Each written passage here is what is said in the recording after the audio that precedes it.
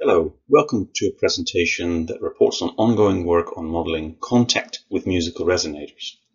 This research is carried out at SARC together with my colleagues Abhiram Bhanuprakash and Paul Stapleton and also fits within a larger European project, VRACE, which investigates audio for virtual reality. So what do we mean with contact and why is it important? Well, in acoustic instruments, we can think of contact in terms of excitation, injecting energy into the system, such as hammering or bowing a string. Then there are also forms of contact that do not have this purpose, but instead are changing the vibrational characteristics of the main resonator. Think of holding down a string to achieve a certain pitch, or resting a hand on a membrane to damp a percussive strike sound. Non-excitational contact manifests itself in three basic forms, damping, clamping, and mass loading. Typically, one of these dominates. For example, by grabbing the edge of a cymbal, one stops the sound, but, as we can see in the spectrogram, not necessarily damps all partials at the same rate. And if you zoom in, you can also observe a slight decrease in some of the partial frequencies, which is due to mass loading by the hand. In the middle, we see a regionally clamped vibraphone bar, where the effect on the resonance characteristic depends on the region uh, that you clamp. In the example on the right, we consider that the effective surface density of a gong uh, to regionally increase when it is partially submerged into water. This is an established practice that composers have actually explicitly written for. The spectrogram here highlights how the partials are affected when dynamically changing the submerged area notably with significant difference in the rate of change in frequency, which is typical for this kind of sound. In this paper, we aim to simulate all three forms of contact, taking a linearly vibrating plate with free edges as a testbed 2D resonator. So how does one model such contact forms? Here we do this by adding a locally reacting contact layer to the plate, which adds time and space varying stiffness, damping, and surface density to the plate. So for example, if we want to introduce damping over a certain region, we simply ramp up the value of sigma across that region. Now, this approach involves some simplifying assumptions, but it has the advantage that there is no need to model or track the position of a contacting object, thus making the sensor interface problem a lot easier. So let's see how we can model this with an equation of motion, which takes the form you see here, where u denotes transversal displacement of the plate. The blue parameters are plate constants and the time-varying contact parameters are shown in green. Free boundary conditions are set which enables virtual grabbing of the plate from the side. One question immediately arising here is how are the distributed contact parameters actually controlled? This has to be considered in conjunction with the sensor interface, which here is envisaged to be a high-resolution 2D touchpad controller, such as the Sensel Morph we see on the right-hand side here. This will give a pressure map, P, that we can directly use to drive the contact parameters with, essentially through a simple linear mapping. In this, the coefficients can be configured for a specific type of interaction.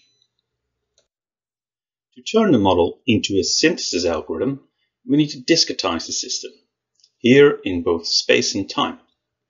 For that, we define shift operators from which we can construct difference and averaging operators that can act upon the 2D grid function ULMN that we see here at the top. These operators are then applied in a specific manner to the equation of motion, as you can see here at the bottom of the slide the important aspects are that we need to make sure that we end up using only defined grid points in U, uh, and that means that only certain combinations um, of operators will work. Uh, that we obtain an explicit scheme, so gain in efficiency. Uh, for that, the backwards operator here in the frequency dependent loss term um, is useful. And that we do not introduce any stability constraint that depends on the contact parameters which, remember, are time varying. For this, uh, the use of averaging operators in various places uh, is instrumental. To examine that last point, one has to perform energy analysis. This table shows the power balance and some of the terms in it, with the continuous domain terms side by side with the discrete domain terms. Now, for an explicit scheme, one will typically have a stability bound, in this case one that depends on the plate parameters. But that's okay, these are constants, and one can just choose an appropriate grid spacing for a given time step to satisfy the stability condition, under which the numerical plate energy will always be non-negative. Perhaps more importantly, the numerical energy due to contact is unconditionally non-negative, so stability does not depend on the time-varying contact parameters. But how do we actually implement this? Well, at the heart of the algorithm is an update equation that we can derive from our finite difference scheme essentially by writing the newest displacement explicit in terms of older terms, and then do time stepping with that in some sort of sample loop. In this case, we have several constants, shown in blue here, related to the plate parameters, uh, as well as time-varying coefficients, shown in green here, which relate to the contact parameters. Uh, these contact-related parameters are actually then updated at every time step. The scheme is then explicit as we can justify it by the weight of the leading term on the left in order to update the displacement. The grids below simply show the groups of nodes that appear in the update equation. So one of the things we can do with the model is simulate regional clamping. For example, here on the left, a square plate is clamped over a corner region uh, using a very high K value. So when waves arrive at the edge of that region, they bounce off. On the right of the slide, uh, we've clamped a region lying outside the indicated circle, thus in effect simulating a clamped circular plate.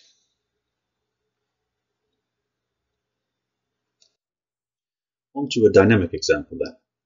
On the left we have a plate with regional damping with accompanying mass loading applied is indicated with the orange color and according to the time profile in the middle plot. You can see in the spectrogram how the partial frequencies are pushed down a little, which does not occur when we apply only damping and not mass loading. Although the effect is quite subtle, we can hear this as well. On the right then, an attempt to simulate a water gong. The plate is clamped at the top corner and gradually lifted upwards and downwards again. We can observe the same phenomenon that we saw in the measured sound, in that the partial frequencies are shifting with the plate movement with substantial differences in the observed rates.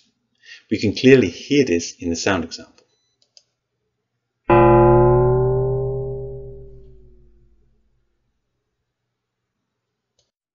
These examples were computed offline. Eventually, though, the idea is to build a real-time implementation coupled to a sensor interface. And this then could begin to function and respond like a musical instrument, be it a virtual acoustic one. One of the underlying ideas then is that that would afford manipulations and articulations that would be difficult or expensive with mechanically constructed instruments while keeping similar affordances in place. For example, what might be possible is on-the-fly reconfiguration of a clamped region through physically clamping the sensing device. All of this throws some computational challenges though, in particular, we face additional overheads for mapping the sensor data to the finite difference grid, which involves 2D interpolation. And the costs go up even further if we add some much desired nonlinearity to the model, for example by extending to a von Karman plate model. Other than that, improvements can also still be made in terms of less numerical dispersion and, for a circular plate, more accurate boundaries. To conclude then, uh, the proposed model enables simulation of musically relevant forms of non-excitational contact with a rectangular plate. And turning this into a virtual acoustic plate instrument will require real-time implementation of the proposed model in conjunction with design and development of sensing strategies. Further future work would include then model extensions and possibly the application to membrane-based instruments. Particular interest here is the simulation of the tabla, uh, because its performatory vocabulary consists of numerous intricate forms of dynamic distributed contact. So yeah, thanks for watching.